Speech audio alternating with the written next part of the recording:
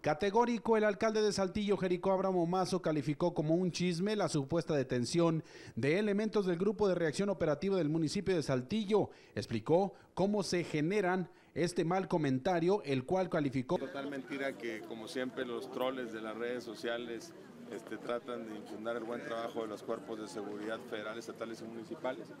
No, una, una, una reunión y una revisión de rutina al, al, cuartel del Grupo de Reacción Operativa Municipal por parte de los elementos federales, como se hace, como lo marca la ley, se hace una revisión de armas, se hace una revisión del, del, del, de la cantidad de operativos en función, se, se, se, revisan las licencias colectivas de arma de fuego, fue lo que se hizo. Y luego no sé quién mandó a decir que se habían detenido y que están, ¿qué pasa? Si los drones andan ayudando a los federales y a los del ejército, y los del ejército nos andan ayudando a nosotros, somos, somos la misma fuerza, nuestro grupo táctico son militares. ¿Hay coordinación? Total, con el gobierno federal, con el gobierno estatal, con el gobierno municipal, estamos trabajando como un solo cuerpo en lucha contra la delincuencia y en beneficio de la paz y la tranquilidad de la ciudad.